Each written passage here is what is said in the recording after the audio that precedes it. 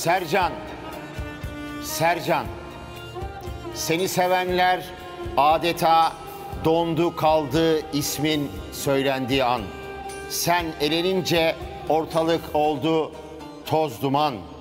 Adadan seni yolladı arkadaşların. Dediler ki önce can sonra canan. Parkurlarda yaşattın bize büyük heyecan. Yapmadın sen adada hiç plan. Damarda durmuyor maalesef akacak kan. Bu sene maalesef kayıplara karıştı senin fan. Üzülme bugüne kadar yaptıkların takdire şayan. Sercan, Sercan. Ağzına sağlık. Bravo Murat abicim. Ağzına sağlık efendim. Sercan Yıldırım'a buradan geçmiş olsun diliyoruz. Evet e, son zamanlarda çok ciddi bir performans gösteremedi. Neden gitti, niçin gitti? Bunların hepsini tek tek tartışacağız. Efendim Murat abicim hazır şiirinizi de okumuşken Sercan Yıldırım'la ilgili neler söylemek isterseniz? Sevgili Furkan dede zordur. Zordur, zordur. Ne zordur? Sercan Yıldırım evlendi ve evlenir evlenmez hemen adaya gitti ve hasret tabii ki doğal olarak hasret yaşadı orada ve bu yüzden de olaylara tam olarak konsantre olamadı. Tam olarak kendini veremedi ve bu özlem, özlem, özlem derken eski Sercan Yıldırım'ı mumla aramaya başladık maalesef. Eskiden o geçtiğimiz sezonlarda yarıştığı zamanlardaki o Sercan, parkurları kıran Sercan, ortalığı birbirine katan Sercan maalesef bu sene o performanslarını, o başarısını göremedik. Ha neden de göremedik? Hem özlem, hem psikolojik sorunlar, hem oraya gitti filan falan derken bir de ne oldu? Bir anda adam kendini sürekli sürgün adasında bulmaya başladı. Sürgün adası, sürgün adası derken Sercan Yıldırım olaya bir türlü adapte olamadı. Kendini toparlayamadı. Bu arada tabii ki bu psikolojik sorunları yaşarken, sürgün adasına giderken kendini toparlayamazken üstüne üstlük bir de gereksiz gereksiz bazı kavgalara girdi. Gereksiz tartışmalara girdi.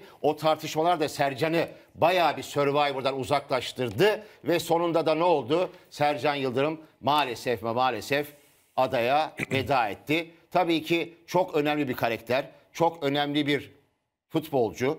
Galatasaray'da forma giymiş, Bursaspor'da forma giymiş önemli bir isim. Survivor'a geldi, elinden geleni yaptı ama maalesef maalesef halk oyları Sercan'a yollamayınca da geri dönmüş oldu. Beklerini verebildi mi? Bekleneni veremedi. Maalesef veremedi. Yani şöyle veremedi. Zaten vermesi de beklenemezdi. Çünkü Sercan, e, Sercan Yıldırım baktığın zaman o geçtiğimiz Sercan Yıldırım'la arasında dağlar kadar fark vardı. Yani bir türlü yapamadı yani yapamadı. Gerçek Sercan Yıldırım'ı Survivor'da gösteremedi. E her şeyde bir hayır vardır. Her işte bir hayır vardır. Gösteremedi. Gösteremeyince de potadan çıkamadı ve İstanbul'a, Bursa'ya döndü. Türkiye'ye döndü. Daha dönmedi canım hemen. Yani bilmiyorum elendi yani. Elendiğini gördük. Döndü mü dönmedi mi bilmiyoruz da yani. Dönecek. Dönecek, döndü, döndü. Yani sonuçta Dönüyor. adada eşini de alıp adada yaşayacak hali yok. Dönecek yani. belki öyle bir şey tercih edecek abi. Nereden yapacak? biliyoruz yani? Belki oralarda durmak isteyecek, kalmak Yok be isteyecek. abi ne işi var adamın adada? Eşi burada adam bir an önce eşine kavuşmak ister. Sen şimdi Survivor'a gitsen. Evet. Ne yapacaksın yani eşin burada ne yapacaksın orada adada sabahtan akşama adada mı duracaksın eşin buradayken? Hayır eşim gelsin diyecek belki Dominik'e gelsin diyecek. Yok Biraz be burada abi. yaşayalım diyecek. Bir sene keyfimizi çıkaralım Yok diyecek. canım olur mu? Bir sene. Ya bir 3-5 gün Kurulu tatile düzen- çağırabilir abi, de. kurulu bir düzenleri vardır. Abartılmış. Evlenen insan bir şey bir düzen kurmuştur. Yeni evlendi adam. Bir evi var. Eşya almış, bilmem ne almış. Ne yapacak Dominik'te abi? Burada adamın e, Ya Dominik'te abi şey ne güzel orada ortam, deniz, kum, güneş hepsi var yani. Ben neden hani çok huzurlu bir tatil yaparlar. Hatta orada yaşanabilir bile bence. Abi ben... sana bir söyleyeyim Furkan dede. Aşk her şeyden önemlidir. ben sanki aşksız... Ya ben Murat abicim sana Sercan Yıldırım tek başına takılsın Dominik'te demiyorum abi adam Ben- bekarlar gibi. hayır. Eşini çağırsın, eşini de alsın gelsin. olsun. Mutlu olsun. Sen Hayır. niye olayı başka bir tarafa Düzenli çekiyorsun? bir hayatı var ve düzenini bozmasın insanlar. Boş ver. Ben sanki... Aa, inanamıyorum Ben şu an. Furkan. Murat abicim Efendim. seni çok Sen niye seviyorum. Dominik'e taktın kafayı? Niye oraya gitsinler? Onu Hayır anlamadım. yani belki dedi İslam eşiyle beraber olmak isterken orada da zaman geçirebilir belki hani diye Ha, düşünüyorum. yok ama Hani- şöyledir mesela. Şimdi zaten eşinden ayrılmış, Dominik'e gitmiş. Bir an önce insanlar oradan döner, eşi havalimanına gelir, sevenleri gelir. Orada karşılarlar onu filan falan. Böyle şeyler olur hayatta yani. Oo, Ne yapacak? oo, Sercan Yıldırım, Yıldırım. oo, sen-. Şimdi adam gitmiş Dominik'e. Evlenmiş eşine ne diyecek? Hadi sen de gel Domini'ye. Ne işi var? Gidecek oraya. Orada karşılayacaklar onu filan falan. Evine gidecek. Yeni bir ev kurmuş. Orada bir oturacak eşinle filan beraber. Daha yeni Dominik'ten gelecek adam. Ne yapacak adam Dominik'te? Ömrünü Dominik'te mi geçirecek Furkan dedi. Buyurun efendim. Evet Furkan'cığım Sercan Yıldırım ve eşine mutluluklar diliyorum. Ee, kavuştular. Ben şimdi daha survivalsal konulara değinmek istiyorum. Şöyle ki bugün baktığımızda performans tablosunun en altında yer alan Sercan Yıldırım'ın gittiğini gördük. Evet. Bazen Survivor yarışmacılarında şöyle bir duygu oluyor ve bu seyirciye çok geçiyor bence. Ben hiçbir yarışmacının çoğunluğun, çoğunluğunun diyeyim yani gitmek istediğini yani ben artık yapamıyorum demek istediğini düşünmüyorum. Zaten böyle diyen çok tek tük yarışmacı oluyor ve bir şekilde mesela Aycan'ın bu sene başına gelen gibi onlar dönüyorlar. Ama bir de şu his vardır. Gitmek istemek değil ama e, gitsem üzülmeyeceğim noktasına gelmek. Yani ben ben bu hafta elensem üzülmeyeceğim noktası. Yani Survivor'dan bezmek, bezdirilmek, canından bezmek gibi duygulara kapılmak. Mesela Mert için de geçen e, söylediğim şey hani ben asla Mert'in yarışmayı bırakmak istediğini ya da yarışmaya devam etmek istemediğini düşünmüyorum. Ama bazen his olarak bu gelir geçer de bu arada ama seyirci bunu hisseder ve Sercan'daki hissimiz tam bu SMS döneminde oldu. Yani bir kere zaten ağzından benim Survivor'ım bitti burada benim umurumda değil cümlesi çıkan yarışmacı da o his geldi demektir. Yani ben artık gidersem de bana koymaz. Çünkü ne iyi anlaşabiliyorum insanlarla ne performans sergileyebiliyorum. Ee, ne bu sistemin doğru olduğunu savunuyorum. Takım içindeki diyalogların, ilişkilerin, kurulu düzenin diyeyim. Dolayısıyla ben Sercan'da bunu hissettim. E ben hissettiysem bunu hisseden başkaları da olmuştur. Ee, performansta en düşük sırada olduğu gibi bu dörtlü içinde SMS'te de en düşük sırada yer aldı ve adaya veda etti. Fakat şöyle de bir durum var. Bugün potada yani Sercan'dan bağımsız olarak bu akşam potada gördüğümüz ünlüler takımından Mert, Barış, Sercan.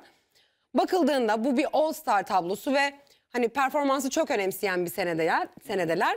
Dolayısıyla açıkçası aslında tutarlı bir potaydı bence. Şimdi çok iyi giden bir ünlüler kadın grubu var zaten.